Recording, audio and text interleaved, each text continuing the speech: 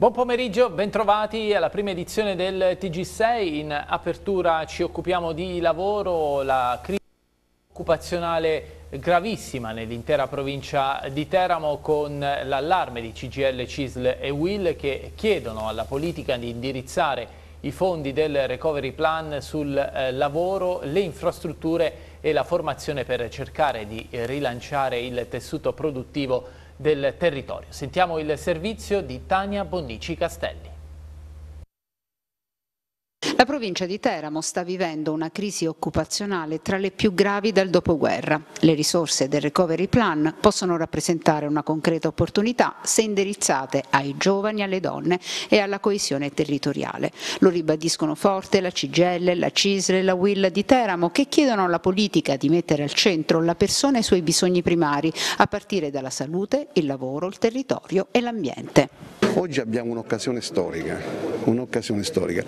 E nell'occasione storica bisogna in qualche modo fare massa critica, fare sistema, noi diciamo che bisogna mettere in campo una governance che analizza la realtà di questo territorio e prova comunque sia poi a costruire una progettualità che non solo è digitalizzazione, quindi modernizzazione, non solo transizione ecologica, ci dicono inclusione e poi dicono una cosa aggiuntiva, ogni progetto deve in qualche modo misurare, saper misurare, quindi non basta solo il progetto faccio il ponte, faccio un esempio, no, deve saper misurare veramente qual è in qualche modo il vantaggio che ne hanno i, eh, i giovani, che ne ha la coesione sociale e che ne hanno anche le donne. Quindi questi sono indirizzi che a nostro avviso devono in qualche modo essere sempre sottolineati e ricordati in ogni pratica progettuale. Per quanto riguarda poi la qualità della vita, Teramo è anche l'ultima provincia della regione Abruzzo è al 76 posto con 20 posizioni in meno rispetto al 2019. Quali sono le vostre proposte, ma le più importanti per poter superare questa crisi sul lavoro soprattutto? Noi vogliamo vedere fatte delle opere tipo le infrastrutture, rivedere la sanità, avere la possibilità di rilanciare un'industria, specialmente la vibrata che sta soffrendo enormemente, così come abbiamo bisogno di eh, formazione e di digitalizzazione che diventa il futuro di questa, di questa realtà. Qual è la posizione della CISL in questo momento di crisi? È una posizione che mira intanto a valorizzare tutto quello che ruota intorno alla formazione, che mira a riqualificare tutti coloro che sono fuoriusciti dal mercato del lavoro e purtroppo in questa provincia e soprattutto in alcune zone di questa provincia ne abbiamo diverse centinaia, quindi dando una formazione che miri a, a, a ricollocare, una formazione che miri a riqualificare, una formazione che dia la possibilità possibilità a coloro che ancora operano all'interno del mercato del lavoro di non correre i rischi che hanno purtroppo vissuto altre persone in, in precedenza. Si tratta di farsi trovare pronti con quelle che sono le nuove sfide, con la digitalizzazione, per poterlo fare bisogna appunto avere le conoscenze e le capacità adeguate. Continuano eh, le ricerche dei quattro dispersi che nella giornata di domenica 24 eh, di gennaio erano partiti da Massa d'Albe per una escursione sul Monte Velino.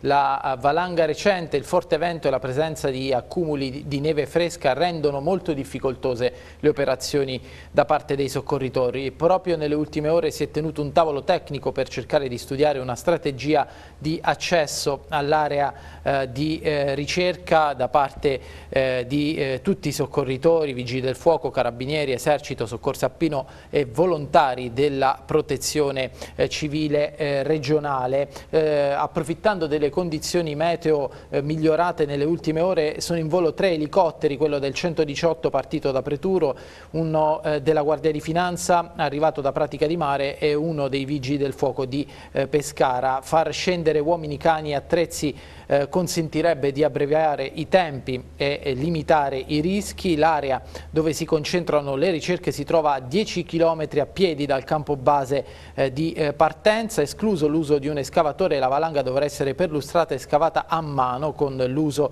eh, delle pale. Vedremo nelle prossime ore se saranno ritrovati i quattro, ieri era stato agganciato un segnale del telefono dall'elicottero arrivato da Pratica di Mare, ma poi eh, le condizioni meteo avverse hanno ehm, così limitato l'azione dei soccorritori che sono dovuti tornare indietro al campo base proprio per evitare rischi eh, maggiori. Eh, sono in arrivo altri 20 soccorritori intanto e anche delle unità cinofile. E proseguiamo con la cronaca. Sottoposto a sequestro preventivo nel Teramano una struttura ricettiva per anziani non autosufficienti eh, completamente abusiva. Nelle ultime settimane si era generato un focolaio Covid-19 nella struttura eh, che ha riguardato una ventina di eh, persone tra ospiti, quasi tutti contagiati e personale. Eh, poi sono morte anche eh, quattro eh, persone. Vediamo il servizio. È stato il focolaio di Covid-19 a consentire ai NAS di Pescara di scoprire una struttura ricettiva per anziani non autosufficienti completamente abusiva, al punto che gli operatori addirittura erano inquadrati come dei braccianti agricoli. Per la struttura di Castellalto, denominata Fattoria Sociale, è scattato il sequestro preventivo di due immobili al termine delle indagini coordinate dal PM della Procura di Teramo Davide Rosati. Nella struttura del Teramano, come detto, sono state registrate positività sia tra il personale addetto all'assistenza che tra gli ospiti, con quattro decessi riguardanti due uomini e due donne, uno dei quali di 51 anni, avvenuti negli ospedali di Teramo e Giulianova. Nel corso delle indagini è stato accertato che al posto della dichiarata fattoria sociale vi era di fatto una residenza per anziani, peraltro non autosufficienti e con disagi psicofisici. Il personale addetto all'assistenza per di più era privo delle specifiche qualifiche assistenziali e non appartenente appartenente ad alcuna delle professioni sanitarie. Dopo l'intervento dei carabinieri, gli ospiti sono stati tutti trasferiti in altre strutture sanitarie idonee. Voltiamo pagina, dopo i tamponi rapidi effettuati ai cittadini nel weekend appena trascorso a San Salvo ci si prepara ad effettuare lo screening Covid anche sulla popolazione studentesca. I test prenderanno il via domani, vediamo il servizio. I risultati che abbiamo ottenuto eh, saranno sicuramente completati da questa operazione importante sulla, eh, su quella fascia della popolazione a cui teniamo in particolar modo. Dopo aver concluso la prima fase dello screening di massa per il Covid-19 a San Salvo con 5.807 cittadini che hanno effettuato il tampone e 13 test positivi da accertare attraverso i molecolari, da domani si darà il via ai test sulla popolazione studentesca in collaborazione con la presidenza dell'Omnicomprensivo amministrativo della città. Domani cominceremo con via Scopelliti e il, lo screening sarà per tutti gli studenti che frequentano il plesso di via Scopelliti.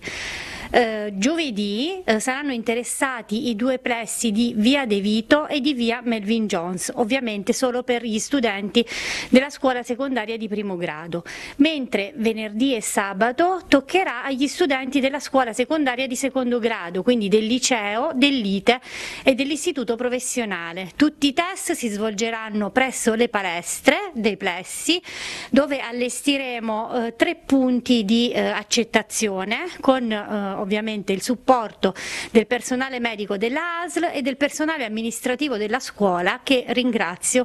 La partecipazione volontaria, come spiega il sindaco di San Salvo Tiziana Magnacca, che però invita i genitori degli studenti a firmare il consenso informato affinché si possa procedere ad effettuare il maggior numero di tamponi possibile agli studenti. Una fo fotografia importante che deve essere scattata anche nelle scuole, non solo perché eh, la la popolazione scolastica è una popolazione a cui teniamo tutti, ma anche perché per fortuna nella nostra città è, è abbastanza corposa. È un atto di responsabilità e di civismo nei confronti eh, della propria comunità scolastica, della propria comunità cittadina e della propria famiglia.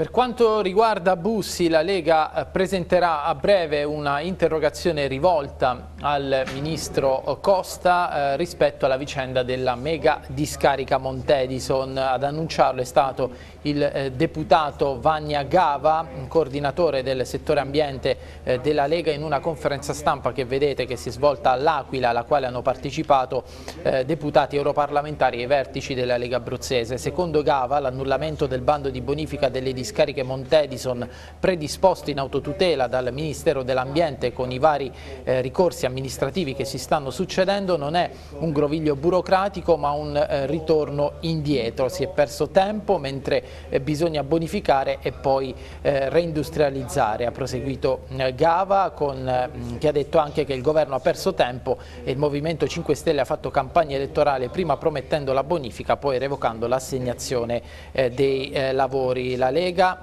continua ancora il comunicato a prescindere dalle questioni di governo ehm, promette di essere eh, presente sulla vicenda e eh, di eh, far in modo che si sblocchi al più presto. Andiamo avanti, ci spostiamo a Chieti sulla questione del progetto Chieti Open Heritage. Il vice sindaco del capoluogo teatino Paolo De Cesare ha attaccato il centrodestra e il candidato a sindaco alle ultime elezioni Fabrizio Di Stefano. Vediamo perché nel servizio di Paolo Renzetti. Sulla vicenda relativa al Chieti Open Heritage riguardante il progetto con fondi europei di riqualificazione e di valorizzazione culturale del Palazzo Massangioli e dell'ex Cinema Eden, il vice sindaco e assessore alla cultura Paolo De Cesare ha tenuto questa mattina una conferenza stampa presso il foyer del Teatro Marrucino polemizzando con il centrodestra e parlando di un atto grave e a danno della città e preannunciando anche azioni legali a tutela dell'immagine di Chieti. Oltre che l'ex candidato sindaco Fabrizio Di Stefano, diciamo che riguardano eh, un danno subito, cagionato all'amministrazione comunale di immagine, oltre che di mancata chance, eh, un danno veramente molto rilevante, eh, considerati anche i partner che erano presenti in questo progetto, eh, tra, tra i quali spiccava anche l'università con il professor Trinchese. Il comune di Chieti è stato oggetto di truffa, eh, di frode, eh, sostanzialmente perché si continua a dire che arriveranno eh, 6 milioni di euro eh, di eh, finanziamenti relativamente alla valorizzazione e alla riqualificazione del Palazzo Massangeli e l'ex Cinema, Cinema, Eden per il progetto Open Heritage del, dell'UIA, il segretariato di Lille della Commissione europea, ci è arrivata la risposta ufficiale, abbiamo sentito il segretariato e ci è arrivata la risposta ufficiale con una relazione, il Comune di Chieti non ha mai partecipato partecipato a questo bando nonostante ci sia stato un lavoro importante eh, con un incarico eh, dell'amministrazione di Primio, una delega dell'ex sindaco di Primio il quale ha delegato ad agire in nome per conto dell'amministrazione relativamente a questo progetto eh, la dottoressa Scognamiglio. Bene, il Comune di Chieti non ha mai partecipato, il progetto non è stato mai valutato, c'è stato un inizio di registrazione che ha sviluppato un codice eh, e poi non ha mai inviato neanche la proposta di progetto. Noi tuteleremo l'ente eh, con il segretario generale, con l'avvocatura del, del, comune e ci saranno anche immagino delle costituzioni di parte civile perché il fatto è molto rilevante,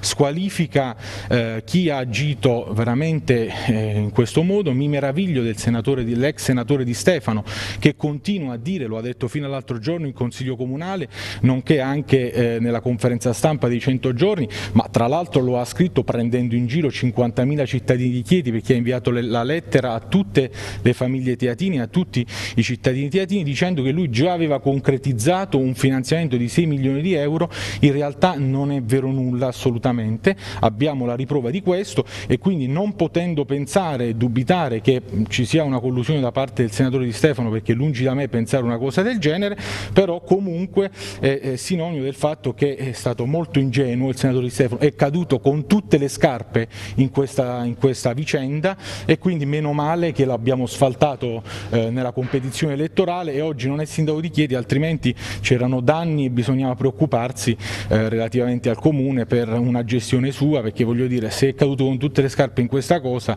insomma tutta questa esperienza che si vantava mm, probabilmente non c'è. I residenti delle palazzine Ater di Villa Vomano di Teramo chiedono interventi urgenti sugli stabili che sono diventati fatiscenti e pericolosi. L'altra sera è caduto all'altro pezzo di cappotto niente, abbiamo tutte le fognature scoperte, abbiamo le buche, eh, non so perché ci trattano così. L'ennesima storia di degrado ed incuria all'interno di Palazzine Ater arriva da via Borgognoni di Villa Vomano, frazione del comune di Teramo. Buche lungo la strada, illuminazione pubblica che manca, pezzi del rivestimento termico a cappotto sparsi ovunque, infiltrazioni d'acqua all'interno degli appartamenti che man mano diventano insalubri per la presenza della muffa. Una situazione anche di pericolo per l'incolumità di persone e soprattutto bambini intollerabile in un paese civile nel 2021, della quale alcuni residenti chiedono alle istituzioni di farsi carico. In queste palazzine costruite qualche decennio fa vivono una trentina di famiglie che si sentono abbandonate e alle quali sono arrivate solo generiche rassicurazioni e qualche transenna per allontanare i residenti dalle zone di pericolo. Sono venuti a fare i sopralluoghi parecchie volte a vedere questa palazzina che più passa i giorni più cade. E io voglio che vengano ad aggiustare perché loro i soldi li prendono, morosa non sono e se, no, se non pago mi danno lo sfratto, voglio e pretendo che vengano ad aggiustare questa palazzina. Io ho dei figli anche minori, si vergogna a far venire i compagni suoi della scuola vedendo questa palazzina schifosa, orribile eh, per favore intervenite e mi rivolgo anche al sindaco di Teramo e mi rivolgo anche al presidente dell'Ater, la, la Ceci, che venga a fare un sopralluogo più presto possibile. Ci spostiamo a Francavilla dove questa mattina nei pressi del distretto eh, sanitario c'è stata una protesta di alcuni cittadini di un comitato spontaneo che chiede la riapertura del consultorio chiuso ormai dal mese di marzo. Vediamo. Dal 30 marzo scorso il consultorio di Francavilla al Mare è chiuso c'è un comitato spontaneo che è nato nelle ultime settimane, oggi state manifestando per chiedere la riapertura immediata. In realtà prime, eh, i primi incontri risalgono al 20 di luglio, poi ci siamo visti a ottobre, abbiamo ricevuto diverse promesse da Thomas eh, Schell che il, il consultore avrebbe riaperto a settembre e così non è stato, poi a dicembre non è stato, adesso l'assessore Verì dice che riaprirà a metà febbraio, noi siamo qui e non eh, possiamo arretrare. Avere un consultorio a Francavilla vuol dire avere un'assistenza psicologica accessibile, avere un'assistenza ginecologica, avere il pediatra, fare screening per il tumore al collo dell'utero, il, il PAP test, c'è stato un vertiginoso calo di questi screening che vuol dire che ci sono donne a rischio. Ehm, ci tengo a precisare una cosa, non riguarda solo Francavilla, riguarda tutti i paesi limitrofi che si servivano del consultorio di Francavilla e che adesso non c'è più. Oggi chi eh, si serviva fino a qualche mese fa di questo consultorio dove deve andare? Adesso deve andare a Chieti, in un periodo in cui ci chiedono o di restare dentro casa o di non uscire dal nostro comune, eh, si, creano, si, rischia di creare assembramenti in quelli che sono eh, insomma, gli uffici di, di, Chieti e anche di contrarre il Covid, noi questo non, non ce lo possiamo permettere. Adesso lo sport. Nella giornata di ieri Giovanni Galeone ha festeggiato il suo ottantesimo compleanno. Intervenuto nel corso della trasmissione eh, Replay, il profeta ha trattenuto a stento le lacrime per le grandi testimonianze di stima e di affetto ricevuti, eh, ricevute dai tifosi del Pescara. Vediamo il servizio di Andrea Costantini. È stato travolto dalle emozioni Giovanni Galeone, l'allenatore più vincente a Pescara e soprattutto il più amato dai tifosi pescaresi, simbolo di una epoca e di una Pescara splendente sotto il profilo sportivo e non solo, l'uomo che più ha saputo emozionare i tifosi biancazzurri, emozioni che gli sportivi hanno contraccambiato ieri nel giorno del suo ottantesimo compleanno. Tante le persone che sui social hanno dedicato un pensiero al profeta, sommerso dagli auguri e poi telefonate e poi interviste sui maggiori quotidiani sportivi nazionali mondiali, perché oltre ai risultati del campo, per tanti addetti ai lavori, per tanti calciatori, è stato un vero e proprio maestro. Dopo 35 anni Galeone, causa pandemia, non ha trascorso il suo compleanno a Pescara, ma ad Udine, dove, collegato ieri sera nel corso della trasmissione replay, a stento ha trattenuto le lacrime, commosso da tale incontenibile dimostrazione d'affetto verso di lui. Cosa vuoi che ti dica Enrico? Io non me l'aspettavo. Tutto questo bene questo amore che, che, mi stanno dimostrando veramente non me l'aspettavo. Lasciamo perdere i giornali nazionali e, certo. e quello che hanno scritto di me, eccetera, ma quello soprattutto che mi hanno fatto sentire da arrivare da Pescara. Io credo che le, cioè le persone che, che hanno amato possono capire questo, perché l'amore si sente quando c'è. E Però se ti cosa... tu stasera Giovanni alla fine, eh, se ti commuovi tu, qui no, le lacrime. Per, no, per carità.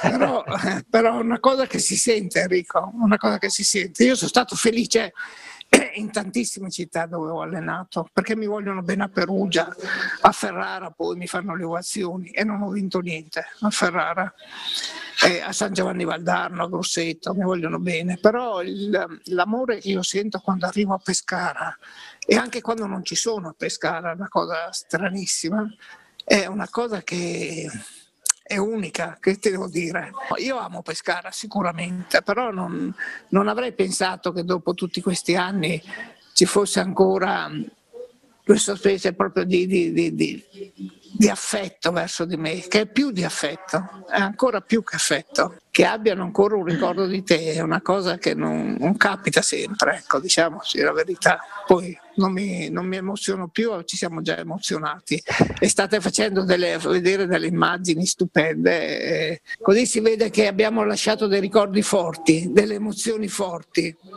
Ci siamo tanto divertiti. Io quando tu mi ha intervistato e lasciato l'ultima, l'ultima, le ultime parole sul, su quel libro che poi hanno scritto di quella famosa e favolosa annata. Hai detto, hai scritto una cosa e eravamo belli, e, ma noi continuiamo a essere belli.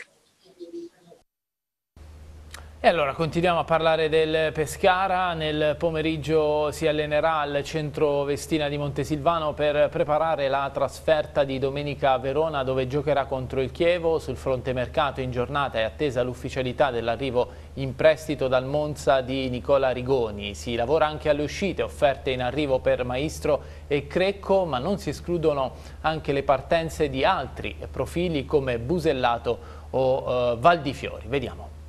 Fari puntati sul centrocampo del Pescara in queste ultime giornate di calciomercato, Roberto Breda avrà a disposizione Nicola Rigoni, trentenne originario di Schio nel Vicentino, cresciuto nelle giovanili del Vicenza dove ha anche giocato in prima squadra, allenato all'epoca proprio da Breda. Rigoni ha anche un trascorso in Serie A, 4 stagioni, 79 presenze e 4 gol con il Chievo, più altre 4 apparizioni appena ventenne con la maglia del Palermo. Nella sua carriera ha anche indossato le divise di Regina e Cittadella. La scorsa stagione stagione l'approdo nell'ambizioso Monza in Serie C, un infortunio muscolare dopo la prima partita, il ritorno dopo un mese e mezzo per mettere insieme 14 presenze e 2 gol prima dello stop al campionato per la pandemia. In questa stagione è finito ai margini nelle gerarchie del tecnico Brocchi, una presenza da 5 minuti in campionato e una da titolare in Coppa Italia. Regista o mezzala di buona struttura fisica e con un buon tiro sarà un rinforzo per la mediana. Il fratello Luca, 36enne, milita nel Vicenza. Altro giocatore finito nel Merino del Pescara è il gigante Andrea Tabanelli, mezzala in forza al Frosinone, che è andato in gol proprio sabato scorso contro la Regina dopo essere subentrato. Il Pescara si è informato ma la sua partenza non è così certa. Il presidente Sebastiani e i direttori Repetto e Bocchetti sono anche al lavoro per sfoltire. Sembrava scontata la partenza di Massimiliano Busellato e invece il mercato fa registrare richieste su altri due profili, Luca Crecco e Fabio Maestro. Crecco, di proprietà del Pescara, è appetito dal Cosenza. Il giocatore giocatore. Scuola Lazio, già finito ai margini nell'era Oddo, sembra di nuovo fuori dai piani anche nella gestione Breda e potrebbe decidere di cambiare aria. Su Fabio Maestro, che è di proprietà della Lazio, si è fatto avanti il Venezia che ha intenzione di riportare a casa la mezzala di Porto Tolle. Valutazioni sono in corso in casa Pescara che non vorrebbe privarsi di Maestro, ma il rendimento da tempo in flessione e gli arrivi di Macin e Rigoni possono chiudere spazi all'ex Salernitana. Valutazioni in corso anche per Valdifiori, un girone d'andata deludente e non si escludono sorprese da qui alla fine del mercato. In difesa momento di impasse dopo il mancato arrivo di Pirola che ferma anche l'uscita di uno tra Scognamiglio e Jarosinski. Situazioni in stand-by anche per Alessio Riccardi e Cristian Capone. Se Roma e Atalanta non avranno offerte da altri club, i due giocatori ai margini della rosa resteranno sul groppone del Delfino. E adesso il Teramo che è vicino alla firma con il centrocampista offensivo classe 2002 Luca Lombardi, cresciuto nelle giovanili dell'Ancona. Il giocatore si è messo in evidenza in Serie D con la maglia della Recanatese per poi essere ceduto al Monza nel gennaio del 2020. Da giorni Lombardi si sta allenando col Teramo, l'operazione va in porto con la formula del prestito con diritto di riscatto per il Teramo e di controriscatto per il Monza. Dopo il giorno di riposo di ieri, la squadra invece tornerà ad allenarsi nel pomeriggio per preparare il match di sabato con la vice capolista Bari che avrà in organico l'ex Pietro Cianci, il giocatore che è ancora di proprietà del Teramo, sta chiudendo anzitempo il prestito al Potenza per trasferirsi alla corte di Gaetano Auteri. Ora la D, il centrocampista Marco Croce è stato il match winner nel 2-1 che il Castelnuovo ha rifilato al Recanatese. L'ex giocatore del Giulianova si è detto soddisfatto eh, della eh, scelta di aver sposato il progetto della matricola eh, tornata capolista del girone F di Serie D. Vediamo il servizio di Stefano Recanati. Raccontaci la gioia di questo eh, gol eh, perché è fondamentale, perché è arrivato in un momento difficile della gara ed è arrivata quando a Castelfidardo il risultato è diventato di parità tra Castelfidardo e Fiuggi e, e, e Scuserieti e siete tornati avanti. Sì, ma a prescindere da, dal risultato degli altri che ti dico la verità vediamo e non, nel senso noi dobbiamo pensare a noi, è davvero un risultato importante per noi perché è arrivato contro una grande squadra, ma soprattutto per come è arrivato, penso che fino al novantesimo abbiamo creduto a questa vittoria e quindi siamo stati bravi a crederci, anch'io su quella palla speravo che Rosario di Rocco facesse proprio quello ed è arrivata proprio lì, sono contento. Come si è trovato a Castelnuovo? Credo bene perché si vede anche dalle tue partite in mezzo al campo. Sì, molto molto bene, sono contentissimo e si è visto subito che questo è un gran gruppo, lo abbiamo notato subito, sono riuscito a inserirmi e sono stati bravi ragazzi a farmi inserire in maniera così in fretta e quindi non potevo fare scelta migliore. 25 punti in classifica, ne mancano sempre pochi alla salvezza e poi chissà. Sì, hai detto bene, non sono frasi fatte, cioè, quello è il nostro obiettivo. E con questo non dobbiamo nasconderci che se riusciamo ad ottenerlo il prima possibile, poi dobbiamo essere bravi a toglierci ulteriori soddisfazioni. Ecco, in fuori casa un ruolino di marcia stratosferico, in casa qualche risultato un po' altanelante, ma la vittoria di oggi contro una, una pretendente al titolo vi dà fiducia. Sì, sì, sì, molta fiducia, molta fiducia.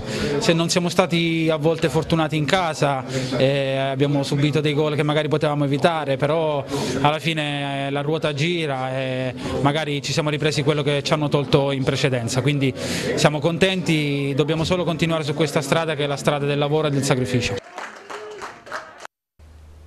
Il TG6 termina qui, io vi ringrazio per averci eh, seguito, il prossimo appuntamento è alle ore eh, 19, eh, vi ricordo anche questa sera alle 21 eh, Proteramo condotta da Jacopo eh, Forcella. Da parte mia l'augurio di una buona giornata.